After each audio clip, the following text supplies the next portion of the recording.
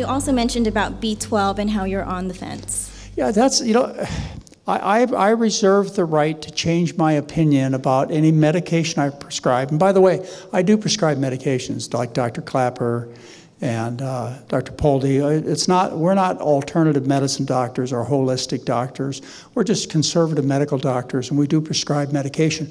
Like I prescribe statins sometimes, and sometimes blood pressure pills, and certainly insulin for diabetics. But I reserve my right to change my opinion about medications including supplements, which in my mind are medications. And B12 is something I've been wrestling with for uh, you know, almost 40 years now. And I have to tell you, I don't have it completely settled. Right now, I think it's fair for you to believe what I say in terms of you ought to take a B12 supplement. But if you hear me speaking a little differently about it, it's because the science still isn't completely clear. Uh, there's research that has been done that I'm still looking at, and there's research still to be done about the best way to get B12 you know, what kind you should get, uh, methyl hydroxy, cyano, uh, you know, how much you should take, whether you should take pills at all, whether you should get it from algae or, you know, it, there's still a lot of questions out there, but I, I believe you're safe just taking a non-animal source of B12 for now until I get my confusion settled. If, if you haven't settled it in the past 40 years, John, I don't know if we're going to... There's just, uh, well, for one thing, it just sets wrong to me to have to be able to have to, to take, to take any it. isolated concentrated nutrient to fix a good diet. That just doesn't sit right with me, never has. But, I, but based on what I know, I've had to do that. And I, by the way, Mary and I do take B12 ourselves. So it's not a subtle recommendation. It's something we do in our family.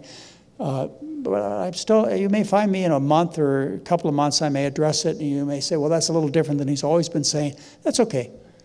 I can change my mind. I will not change my mind about a starch-based diet, though. So no, but I, I, do. I do see kids with methylation disorders, kids on the spectrum, and and and I, I it's beyond my expertise to to do to to uh, prescribe the right supplements and so on. What I do is I try to prescribe an absolutely excellent vegan diet. Let's use the word vegan. It's nice.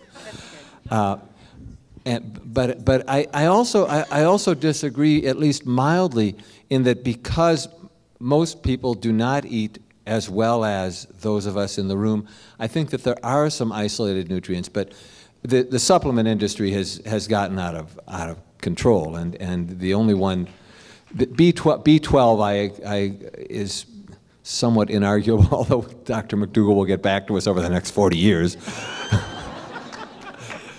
Um, I've seen too many cases of B12 deficiency um, among vegans. It's, it's serious business. Um, the reason why you have to take it is that 500 years ago, we got our B12 the same place the deer and the antelope did. We drank stream water, we pulled up unwashed vegetables and ate them, and the B12 is made by the soil bacteria in the ground and in the water.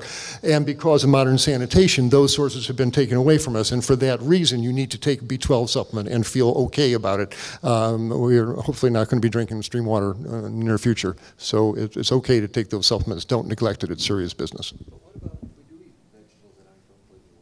Seriously, is that? Well, you should get your B12 checked if that's if you're relying. I wouldn't bet my spinal cord on unwashed vegetables. I would, you know, I would certainly check. You know, I would have your B12 level checked. If it's if it's high on the vegetables, cool, then you're getting it from it. But uh, I've seen too many cases of of um, numb hands and feet and brain fog from people who've neglected it. Don't neglect it. So I've seen a lot of um, B12 deficiency, but it's I've seen Hello? Oh. So I've seen it more often in people on proton pump inhibitors, acid suppressants, um, and, and actually, actually, just in aging, sometimes we have decreased acid production. So there's a lot that's going on other than just vegan.